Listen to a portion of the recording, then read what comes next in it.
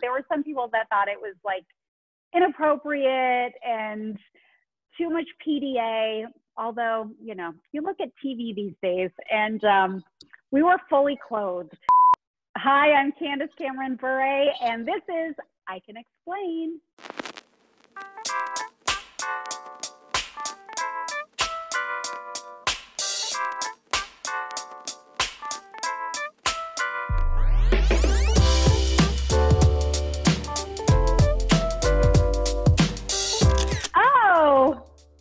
Can explain. I love this. So, Scott Weinger and I, DJ and Steve, just got married. And here we were walking back into the house after we just said, I do. Mm-hmm. Oh, okay. One of my favorite t shirts. I just want to love Jesus and take naps. so, there I was on the set of one of my Aurora Teagarden mystery movies. And I just had a very long day traveling in and doing a four or five hour costume fitting. And so I just, that t shirt I wore said everything. okay, I can explain. My husband and I had a really great lunch with our son Lev and that cute little bridge. I thought, oh, honey, let's take a picture together. And after, you know, 10 photos, he put his hand there and it was the last picture we took. And when we looked through them, we both laughed and I was like we were like, that one's so funny, let's post it. And then it blew up on the internet. I did not know so many people would have an opinion on it.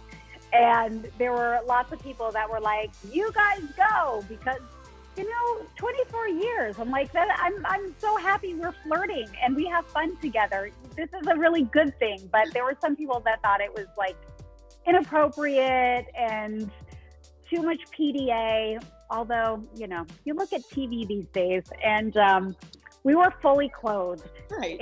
and i think it was pretty innocent. So john stamos and i were at wango tango and we didn't even know that we were both presenting. So we saw each other backstage. We were like let's take a picture.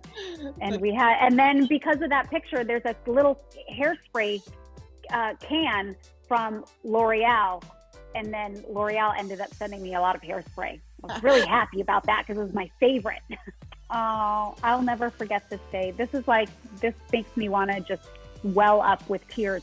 That was our final episode of Fuller House after we finished the show in front of the live audience and took our final bow. And then I, there I am, my husband came up um, and gave me a beautiful bouquet of roses and gave me a big kiss and said congratulations. And it was a really sweet moment.